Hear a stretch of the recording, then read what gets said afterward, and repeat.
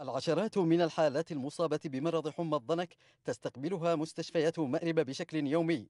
تقول المعلومات أن أمراضا كثيرة منتشرة في المحافظة ومركزها وأن المصابين أغلبهم من النازحين الذين عادة ما تتركز مناطق سكنهم في مخيمات تفتقد لأدنى مقومات البيئة الصحية. ووسط هذا الوضع الصحي المتردي تبرز مناشدات هؤلاء واستغاثاتهم لكنها لا تسمع وإذا ما توفي أحدهم فلا بواكي له.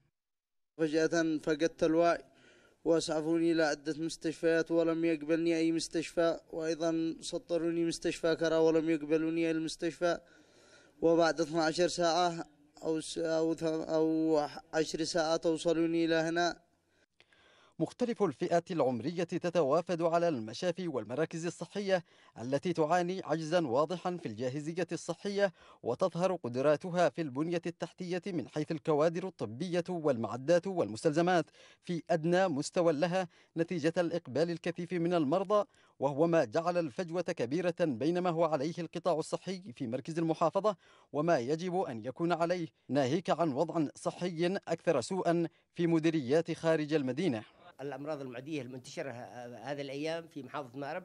اولا أنتم كما تعرفون إن محافظة مأرب تزدحم بالكثافة السكانية منها من هواء نازح ومنها من هواء من القرن الأفريقي. فهناك أمراض ظهرت منها حمى الضنك والإسهالات.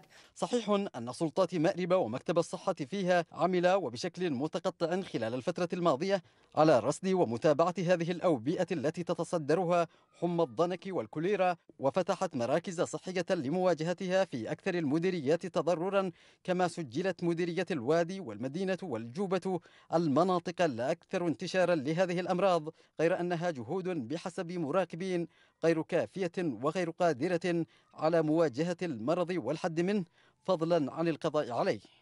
تزايدت الحالات المصابة بحمى الضنك وأمراض أخرى في مأرب بحسب الإحصائيات الطبية. وما سجلته مستشفيات المدينة في ازدياد مستمر وهو ما يستوجب من الجهات المعنية العمل وبشكل أكثر جدية للحد من أسباب المرض والمصابين فيه. خليل الطويل قناة بلقيس مأرب.